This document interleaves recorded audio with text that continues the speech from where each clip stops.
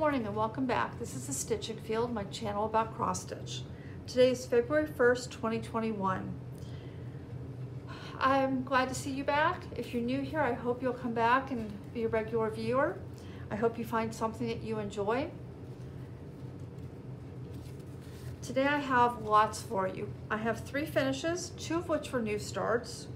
I have my current progress, what I can't wait to start, plans for February, and my giveaway winner. I'll do the giveaway at the end.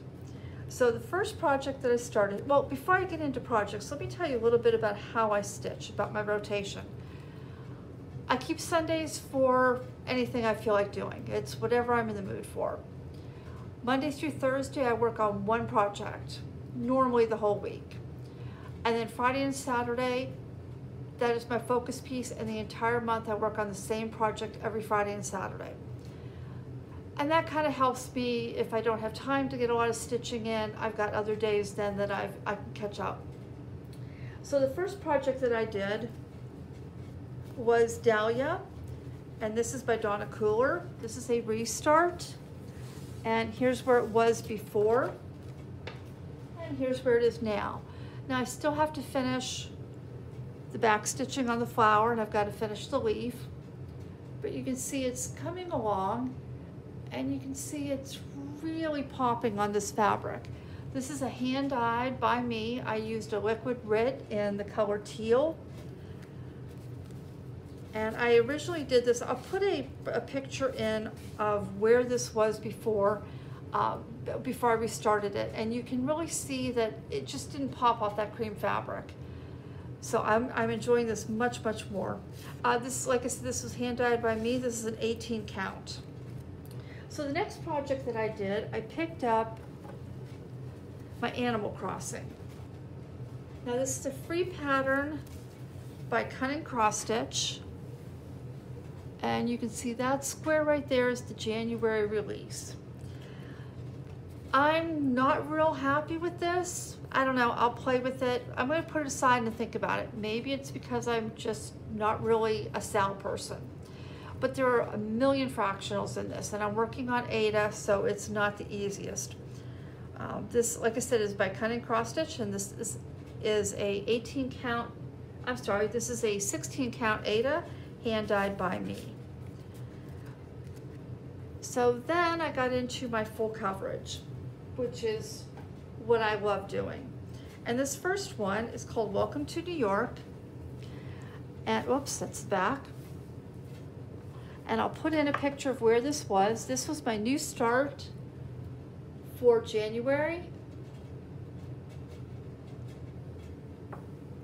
And all I had done was the gray clouds and part of this first building. So you can see this was my Friday, Saturday project.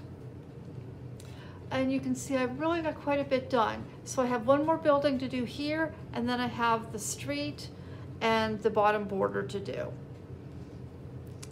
So that one will be, this is, I'm using for my 21 and 21 through full coverage frost, full coverage fanatics. That project has a total of 23,000 stitches. So when it's done, it's done. All right, this is one afternoon. Let me see if I can expand this out. And I'll put a picture of where it was. It's hard to get the, the door. So let me start at the top here. Now you can see where it was before. I normally would have, what I normally do is I start my projects in the upper left hand, work my way to the right, then come down and work my way back across. And I started doing that when I realized I was running into this house already. So I went down and did the house, all except for the door. But then when I picked it up this time, I wasn't thinking about what I was doing, and I picked it up and I started on the left-hand side again. And I realized I'd hit a roof, so I finished off most of that roof. And I came across, and then I decided, I joined Full Coverage, Full Coverage Fanatics, and I decided to use this piece for my January bingo. And the easiest way to do this with the least number of stitches meant that I needed 6,000 stitches. So I did this, but there's quite a bit of confetti. So then I came down here, I started filling in the door. And I was so close to 6,000 stitches. And when I got one of these colors, I believe it was 762, I realized I needed less than 30 stitches. So I decided to go through and find where those 30 stitches were. And these last four stitches were the end of that color. And I was exhausted. And I thought, there's no way I'm getting my 6,000 stitches. And then I realized there was a whole lot of one solid color. And there's a few little bit of confetti in here, but I could get a lot of stitching done here. And I thought, okay, instead of finishing the door, I'll do this. And sure enough, I was able to get my 6,000 stitches in, which brings me now to 58.37%. This piece will definitely be finished this year, and I can't wait. Okay, the next one is Nerthus. Now this is my absolute favorite project. This is my unconventional X. Oh, I forgot to tell you. Uh, one afternoon, this is on 18 count white or cream Aida by Zweigart. And I'm stitching this two over one. Okay, now Nerthus, and this is by Artecy. Nerthus is by Unconventional X Stitch and I'll put a picture of where this was. Now this has a lot more confetti than one afternoon. This, oh, by the way, this is on 20 count white Zweigart. I think I said previously it was on 18 count. So this has a lot more confetti. So I filled in up here, got the whole top row of pages done, and came down and started on the next row. And you can see right here, you can see I stopped here. This is actually the bottom of page of the row of page, first row of pages. But then I saw I was getting into the eye and I wanted to see the eye. So I dropped down and then when I came across, I decided to go ahead. So I have a couple rows of the next row of pages. So this right here is pages 12 and couple rows of page 18. Now this one, I am up to 28.13% and I completed 4,627 stitches. So that brings me to my finishes. So the first thing I pulled out the first week of January is Chopping Mall. Shopping Mall or Chopping Mall, however you want to call it. And I didn't have a whole lot to finish, but let me go over what I've done. First of all, this is a 15 inch stretcher bar and my plan originally was to stretch the fabric over this and attach it on the back. It was just slightly too small and I, I couldn't get it to reach the back.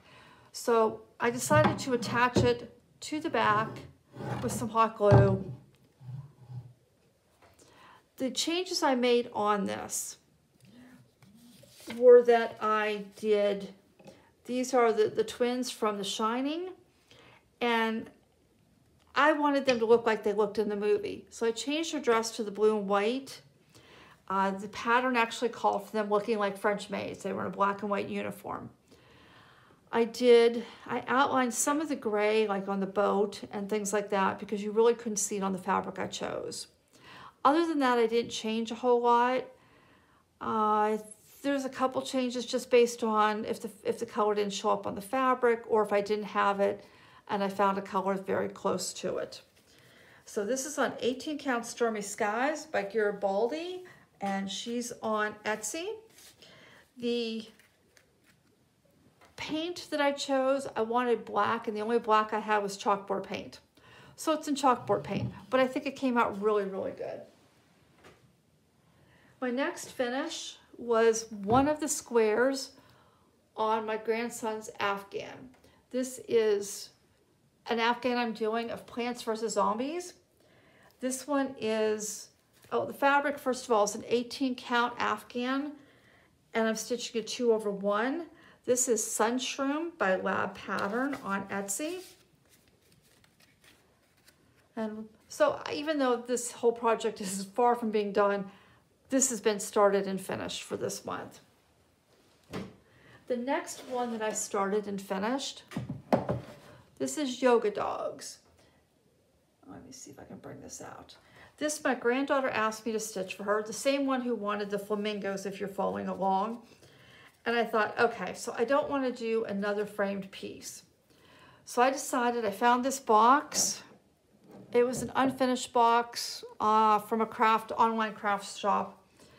I stained it with English chestnut. And then I stitched this piece and put it on sticky board and then I just hot glued it to the top. She's turning 10 she may want to change this out. So this way she can still use the box. She, she can easily remove it. It's not permanently attached. Now Yoga Dogs is by Little Room in the Attic on Etsy. And when you purchase the pattern, you get both the black and the brown dog versions. Her, she has a, a miniature dachshund and her dog is in the brown version. So we did the brown. The fabric is a remnant. It's a hand dyed by Rolanda and it's 14 count. And I don't believe it was named. I, I could be wrong on that. And I'd use, I'd cut this off. This was a little piece that was left over from project I did for a year or so ago. Now inside, you can see I just added some pink fabric to the bottom, stained the whole piece, and this will be her birthday present along with a deck of yoga cards because she's, well, I've, always, I've encouraged my grandchildren to do yoga since they were little. And uh, she's now really getting into yoga. So that's her piece. That'll be her birthday present. So what are my plans? Well, my plans for next month are to work on Nerthus. Now Nerthus is going to be my focus piece. Here's Nerthus again. So Nerthus will be my focus piece. And my goal is to get at least 10,000 stitches in. Now a page has roughly 33, 34,000, 3,400 stitches on it. So if I do 10,000, I'm easily doing three pages. The next one that I'm going to work on and focus on is going to be You Can Leave Your Hat On. This is by charted by HAED. And the artist is Sandra Santana. This is on a 14 count. Uh, it's a light blue, just because that's what, what I got. It's it's not an Aida. I mean, it's not a Zweigart. I don't know what fabric it is. It was just a generic piece that I picked up off 123 Stitch. And it's a, a light blue. It's uh, that's not quite, it's slightly bluer than what you're seeing there. So currently I have 5.42% completed. And my goal on this one is 4,000 stitches. So my next one is Stevie Ray. And here's where I am now. I've got to bring this back a little bit so you can see all of it. There you go. Stevie Ray is on Pale Blue Aida. It's another 14 count. And again, it's it's just an unnamed that I found off uh, 123 Stitch. The artist was Wendy Kathleen.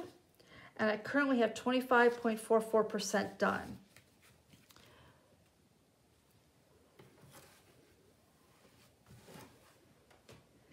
And then I will continue working on one afternoon. And my goal on that one, well, my goal on Stevie Ray is 5,000 because there, there, there's so little confetti in it that I can stitch that one really quickly. My goal on this one is to do another 4,000. I want to finish the door and call this house and everything around it done. And then I want to come up here and finish this row and maybe even come down and start the next column, the next row of pages. We'll see how far that goes.